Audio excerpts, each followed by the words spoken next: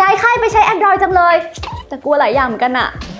เฟื่องก็เป็นอีกคนนึงนะคะที่ย้ายค่ายจาก iPhone เนี่ยมาใช้ Android เป็นเครื่องหลักก็เลยแบบเอาละอยากจะมาแชร์ให้ทุกคนฟังรวมไปถึง มีคนถามมาหลังมาเยอะมาก ก็เลยทำเป็นโพสต์ ถามทางไปว่า ถ้าคุณอยากจะย้ายไป Android นั้น คุณกลัวประเด็นอะไรบ้าง สรุปมาให้ 9 ข้อต่อไปนี้ค่ะ ฟิวคำถามที่ 1 ใช้ Android แล้วเครื่องช้าไหมคะ หลายคนมีภาพจำนะคะว่า Android เนี่ยทำงานช้า เพราะเมื่อก่อนเนี่ย Android ก็จะมีแบบสเปคกลางๆ ถึงล่างๆ อยู่หลายรุ่นมีเยอะเหมือนกัน ซึ่ง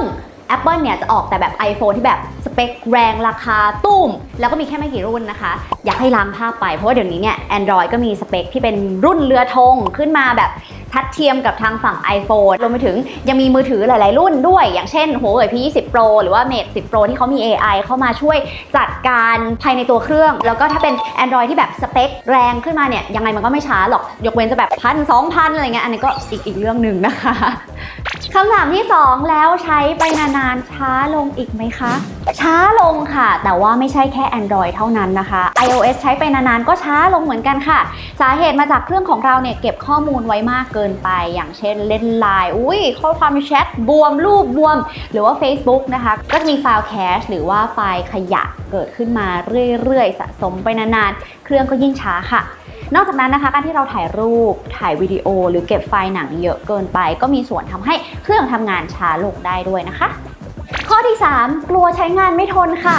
จริงๆ แล้วนะคะมีงานวิจัยจากบริษัท a d s i m c o นะคะออกมาบอกว่า iPhone เนี่ยจะมีอายุเฉลี่ยอยู่ที่ 3-4 ปี ส่วน Android จะมีอายุเฉลี่ยอยู่ที่ประมาณ 2 ปี แต่ว่าเราคงที่จะกำหนดตัวเลขแบบเป๊ะๆไม่ได้ เพราะว่าทั้งนี้ทั้งนั้นนะคะก็ขึ้นอยู่กับการใช้งานของแต่ละบุคคลด้วย รวมไปถึงแต่ละรุ่นก็ Android มันกว้างๆฟันธงไปเป๊ะๆไม่ได้ค่ะ แล้วก็ถ้าใครใช้ Android อยู่หลายๆ ปีแล้วเนี่ยคอมเมนต์มาข้างล่างได้นะคะ ประกาศตัวเลยว่าฉันเป็นสาวก Android Android มันดีมาก ร้างความมั่นใจกันหน่อยค่ะ 4. หลายคนถามมาเยอะมากนะคะ ว่าผมจดโน้ตไว้เพียบเบอร์โทรศัพท์เต็มเลยแล้วแอปที่ซื้อมาอยู่เต็มเครื่องล่ะ ย้ายตามมาได้ไหมคะแยกเป็น 2 ส่วนนะคะ อันแรกเนี่ยพวกข้อมูลพื้นฐานของโทรศัพท์ อย่างเช่นเบอร์โทรศัพท์ รูปภาพแอปฟรีแบบ Line Facebook อะไรอย่างเงี้ยสามารถ ย้ายได้นะคะ ซึ่งจะมีวิธีของมันอยู่รอติดตามใน EP 2 นะคะ เดี๋ยวจะมาบอกว่าย้ายยังไงนะคะ ส่วนแอปที่เสียเงินซื้อไปแล้ว อันนี้อาจจะต้องทำใจนิดนึงนะคะ เพราะส่วนมากแอปจะ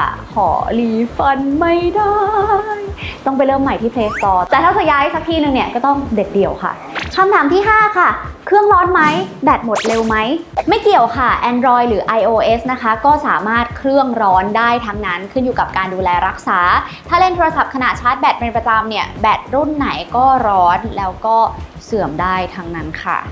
คำถามที่ 6 อุ๊ย มันเป็น Open API ระบบเปิด กลัวไวรัสเข้าเครื่องง่ายจังเลยค่ะ อย่างที่บอกนะคะว่า Android เป็นระบบเปิดค่ะ ถ้าพูดถึงความเป็นไปได้ก็ต้องถือว่ายอมรับเลยว่ามีโอกาสติดไวรัสได้สูงกว่า iOS แต่สาเหตุส่วนใหญ่เนี่ยมักจะมาจากการโหลดแอปเถื่อนบ้างโหลดไฟล์จากเว็บแปลกๆบ้างนะคะ ซึ่งวิธีป้องกันให้ปลอดภัยก็คือโหลดแอปที่มาจาก Play Store เท่านั้น แต่ถ้าดีหน่อยนะคะ โทรศัพท์ที่ซื้อมาถ้ามีแอปที่จัดการตัวเครื่องได้ก็สามารถใช้แอปตัวนั้นได้เลย แต่ว่าในความเป็นจริงนะคะ เฟื่องว่าอย่าไปซีเรียสมากเลยค่ะ เพราะว่าถ้าเราใช้โทรศัพท์ปกติไวรัสก็ไม่ได้ติดกันง่ายขนาดนั้นไม่ต้องกังวล จนเกินเหตุนะคะ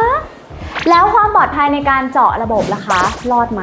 ความปลอดภัยในที่นี้นะคะ ถ้าเป็นการขโมยข้อมูลก็ไม่ค่อยมีปัญหาค่ะ เพราะสมัยนี้เนี่ยมือถือ Android พัฒนาระบบรักษาความปลอดภัยดีขึ้นกว่าแต่ก่อนมากเลยนะคะ บางรุ่นก็มีระบบสแกนม่านตาแล้ว ระวังก็แต่เราเองค่ะ ที่ไม่ควรจะเลือกเชื่อมต่อ Wi-Fi ที่ให้ใช้ฟรีๆหรือใส่รหัสต่างๆ ผ่านเว็บที่เราไม่รู้จักจะดีที่สุดนะคะ Android อัปเดตเวอร์ชันบ่อยไหม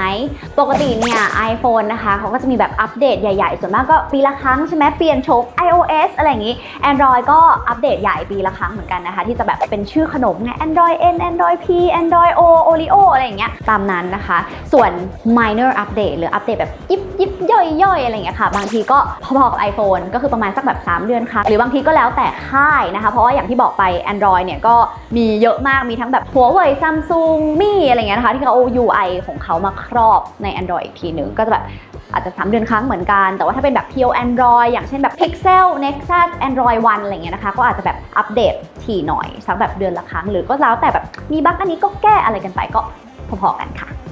แล้วถ้าจะย้ายไป Android เนี่ยย้ายดีไหม อันนี้ก็ต้องถามตัวเองค่ะว่าเรามีมือถือเอาไว้ทำไม ถ้าชอบแบบถ่ายรูปสวยๆ สุดๆ จอใหญ่เล่นเกม แล้วก็สเปคของ Android รุ่นนั้นๆ ที่เราหมายตาไว้เนี่ย มันตรงกับพฤติกรรมของเราก็เปลี่ยนได้ แต่ถ้าสมมติเราเป็นแบบสาวก Apple อย่างที่สุดคือนอกเหนือจาก iPhone เรายังจะมี Apple TV MacBook เอ่อ iPad อะไรแบบนี้นะคะ เยอะๆเนี่ยเราก็อาจจะแบบโอเค iOS มันสะดวกกว่าแหละ ก็ต้องลองพิจารณาดูนะคะ ว่าพร้อมย้ายหรือไม่เพราะแบบ Air ดง AirDrop อะไรเงี้ยมันก็นิดนึงใช่ไหมความสะดวกสะดวก แล้วเราก็อย่าไปคิดว่าเอ๊จะย้ายจาก iOS มา Android แต่ให้คิดเป็นรุ่นๆไปก็ได้ค่ะ อย่างเช่นจะย้ายจาก iPhone 7 Plus มา Huawei P20 Pro เฮ้ยเฟื่องเอง หรือ Samsung S9 Plus นะคะ เพราะว่า Android เนี่ยก็มีหลายเกรดหลายราคา ถ้าจะให้เทียบกับ Android รุ่นราคา 6,000 7,000 เทียบกับ iPhone 20,000 กว่าบาทเนี่ยก็คงจะเทียบกันไม่ได้ค่ะ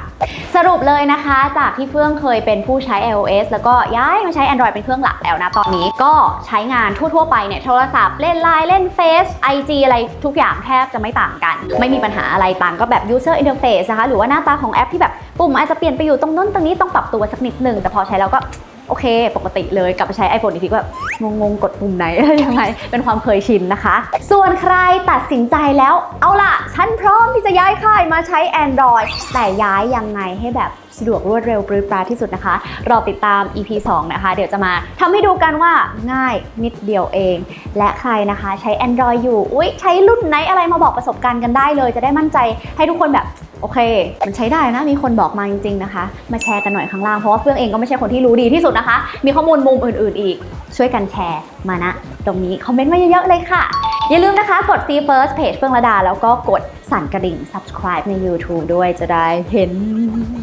ทุกคลิปใหม่ของเรา ไปแล้วค่ะ บ๊ายบาย